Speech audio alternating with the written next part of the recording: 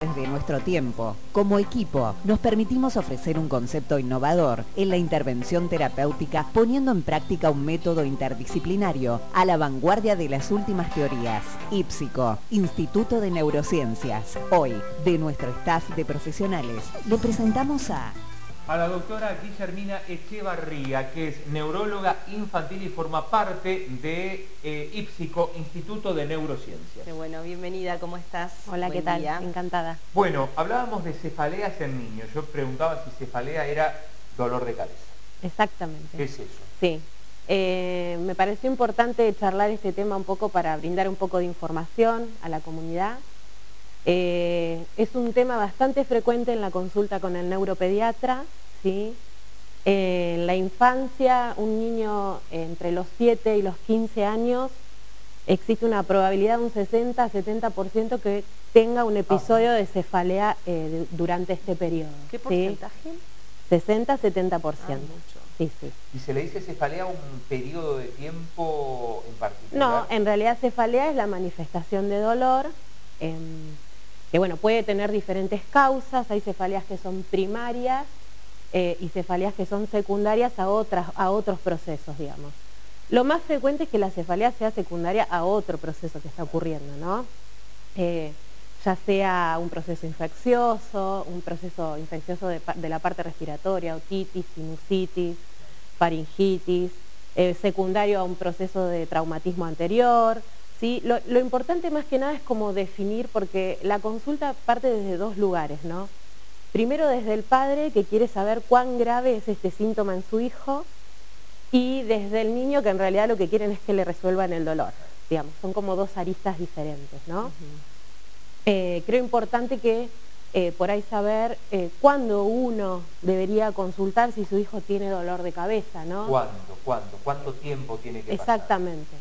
Primero saber que en el curso de un proceso infeccioso agudo va a aparecer dolor de cabeza asociado a fiebre, como manifestación, como síntoma, y esto es frecuente y no, implica ninguna gravedad, digamos, ¿sí?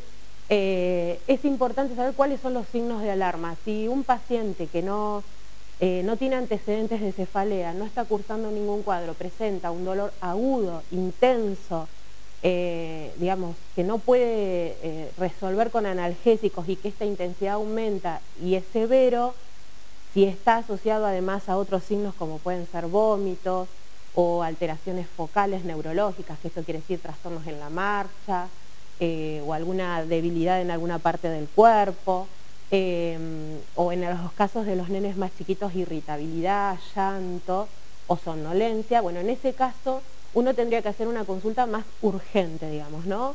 Con el pediatra o en algún lugar donde haya emergencias como para poder descartar causas más severas de este dolor. Este, en cambio, si el dolor es un dolor que es agudo recurrente, o sea que es un dolor que se presenta por periodos, periodos libres, después vuelve a tener cefalea, periodos libres, en ese caso habría que descartar si el paciente no está haciendo un debut con una migraña. ¿sí?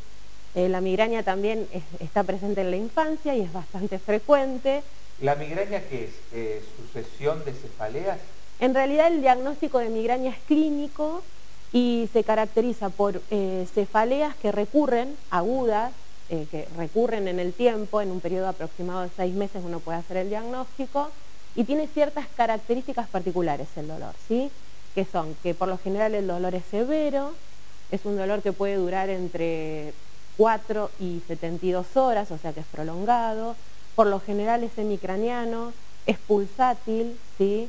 Y ¿Qué significa Pulsátil es, uno, uno le dice a los niños, es difícil para el interrogatorio porque fundamentalmente hay que saber que el diagnóstico es por la clínica y el examen neurológico. Y después vienen los métodos complementarios, ¿sí?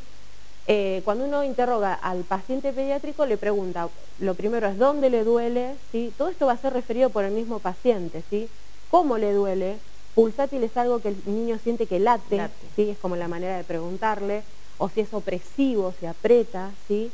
y preguntarle además si esto asocia a que le moleste la luz o el ruido, que eso se llama foto y fonofobia, o eh, si se asocia a vómitos o a náuseas o a dolor abdominal. Todos estos síntomas pueden acompañar a la cefalea. Déjame recordar que estamos hablando con la doctora Guillermina Echevarría, es neuróloga infantil y forma parte del equipo profesional de IPSICO, Instituto de Neurociencia. Doctora, ¿cuán peligroso puede ser el, dolor de cabeza en un niño desde lo neurológico?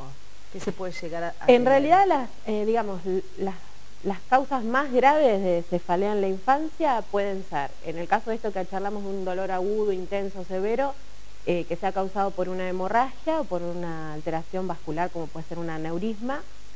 Eh, otra causa por ahí grave podría ser una meningitis, una meningoencefalitis, que es la infección del sistema nervioso. Eh, y bueno, y en algunos casos la presencia de alguna lesión específica a nivel del sistema nervioso que produzca un aumento de la presión intracraniana manifestado como una cefalea. No es lo más frecuente, ¿no? Por eso hay signos de alarma eh, ante, los cuales los padres deben consultar o prestar atención. En realidad la primera consulta siempre es con el pediatra, ¿sí? El pediatra hace un anamnesis, un examen neurológico básico, y va descartando estas causas secundarias de las que charlamos. Y también por ahí es importante nombrar que en esta época es, frecuente que los niños tengan lo que nosotros llamamos cefalea tensional, ¿sí? que es una cefalea que se asocia a todo lo que tiene que ver con el ritmo de vida diario, escolar, el uso de pantallas, el estrés, se presenta mucho en adolescentes, asociado a trastornos de aprendizaje, ¿sí? a trastornos a nivel de la familia. ¿sí? Este tipo de cefalea, a diferencia del otro, es más crónico y más solapado. O sea, el niño tiene el dolor de cabeza, pero sigue sus actividades diarias. Mencionaste las pantallas, eso a los mm. adultos nos provoca también esa situación. Y, los chicos que están expuestos a tantas horas de pantalla, eh, se, nota, digamos, un incremento? Sí, hay un incremento en la frecuencia de consulta. Y el tratamiento, eh, ya que estoy nombrando un poquitito como para saber, en realidad el primer tratamiento de, de, lo que es la cefalea es un tratamiento higiénico dietético. ¿Qué es eso? Cambios a nivel de los hábitos eh, en casa y uno de ellos es la utilización de menos horas de pantalla, ¿no? Es como algo básico. Difícil, qué tratamiento difícil. Sí, sí, Este, después, bueno, obviamente hay tratamientos específicos para la migraña y demás, pero inicialmente lo Antes de la medicación es alimentarnos mejor y siempre el estrés. Sí, y para, el, para la migraña también, ¿eh? el primer tratamiento en los niños es higiénico-dietético. Ah, tiene que ver con las horas de sueño, con el uso de pantallas, con realizar una actividad física al aire libre, este, con algunas, retirar algunos alimentos que desencadenan las crisis migrañosas, como el chocolate, el queso. ¿En serio? Sí. Eh, eh, cuando, cuando, cuando la primera parte de la consulta vamos bien, cuando ya les digo lo que tengo que sacar, ahí vamos como... chocolate, queso. Chocolates, quesos, eh, todo lo que sea genera o contribuye al, dolor? Un paciente que tiene una migraña de base, ante el consumo de determinados alimentos, ¿Y qué se puede... alimentos grasas? No, no, en realidad son compuestos que ah. activan eh, a nivel del sistema nervioso distintos neurotransmisores. ¿Y puede haber distintas personas que le activen distintos alimentos? Sí, tengo pacientes que hemos descubierto que es determinado alimento, el chocolate, eh, tengo un paciente que es almorrón, ¿sí? Ah. es como que es específico, pero uno retira ciertos alimentos y después con el paso del tiempo va de, poco, de a poco introduciendo nuevamente, si no tiene episodios como para saber si hay uno específico que lo Como cuando se determinan las alergias, digamos. Tal cual, sí. También puede ser que no responda, que uno haga el tratamiento higiénico dietético, saque los alimentos y el paciente aún recurra con síntomas, entonces ahí es donde se utiliza otro tipo de tratamiento farmacológico. Interesante. ¿Cuesta más, doctora, con el niño o con los padres? Sobre todo cuando le da el tratamiento. Ambos. Ambos. Ambos. Y el nene, porque eh, yo en mi cuestión particular nunca escuché a un nene decir, me duele la cabeza, por ejemplo. Sí, pero lo refieren así, me duele la cabeza. Y el que aún no habla bien, eh, te señala que le duele.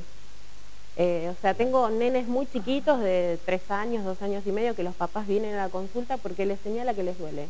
Ah, sí, sí, sí, es Interesante. Bueno, eh, consulten. Está con nosotros eh, la doctora Guillermina Echevarría, es neuróloga infantil, trabaja en IPSICO, ahora van a ir todos los datos de IPSICO para, para ubicarla. Doctora, interesante el tema, desde ya muchas gracias. Bueno, les agradezco mucho la invitación.